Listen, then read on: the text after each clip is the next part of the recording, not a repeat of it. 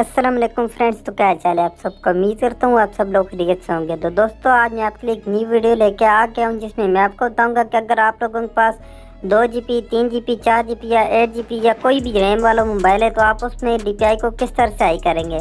और दोस्तों, आप कितनी डी पी आई यूज़ करेंगे तो आपको मोबाइल ख़राब नहीं होगा। और दोस्तों, इसके अलावा आप किधर से डी पी आई को आई करना है। तो दोस्तों, ये सब कुछ मैं आपको इस वीडियो में बताने वाला हूँ। तो दोस्तों वीडियो को शुरू करते हैं, लेकिन वीडियो शुरू करने से पहले अगर आपने मेरा चैनल अभी तक सब्सक्राइब नहीं किया तो चैनल को सब्सक्राइब और वीडियो को लाइक कर दें। तो दोस्तों, चलिए वीडियो को शुरू करते हैं। तो दोस्तों, सबसे पहले आपने अपने मोबाइल की स्क्रीन पे आ जाना है। मोबाइल की स्क्रीन पे आने के बाद दोस्तों आपने सेटिंग वाले ऑप्शन पे क्लिक करना है।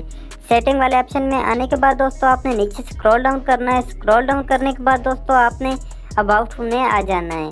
अबाउट फ़ोन में आने के बाद दोस्तों, आपने इधर वरियन वाला ऑप्शन ढूंढ लेना है। वरियन वाले ऑप्शन को में आने के बाद दोस्तों आपने बिल्ड नंबर के ऊपर तीन से चार बार टैप करना है।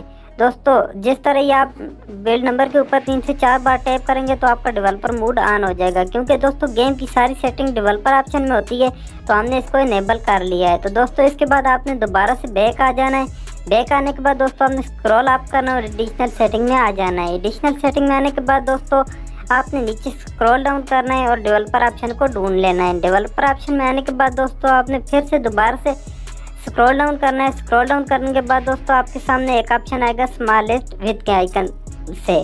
तो दोस्तों आपने उस पर क्लिक कर देना है। तो दोस्तों इधर से ही डीपीआई बेसिकली आई होती है। तो दोस्तों आप लोग देख सकते हैं कि जो मेरी ओरिजिनल डीपीआई है तो वो 360 है। तो दोस्तों मैं इधर से आई नहीं करूँगा।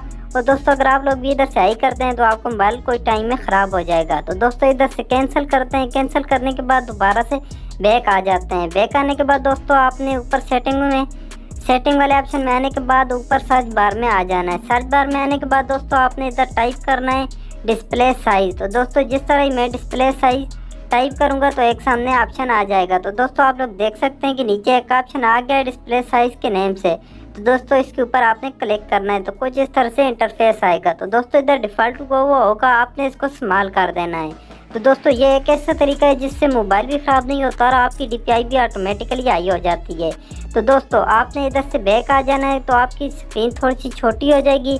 तो दोस्तों ऑटोमेटिकली डी आई हो जाती है। तो दोस्तों, मैं आपको दोबारा से डेवलपर ऑप्शन में जाके दिखा भी देता हूँ कि ऑटोमेटिकल डी पी आई हो गई है। तो दोस्तों, आपने दोबारा से एडिशनल सेटिंग में आ जाना है।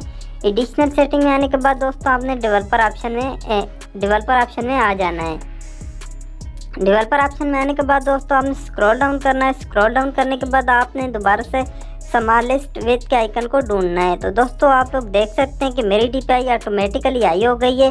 तो दोस्तों पहले 360 थी तो अभी 423 हो गई है।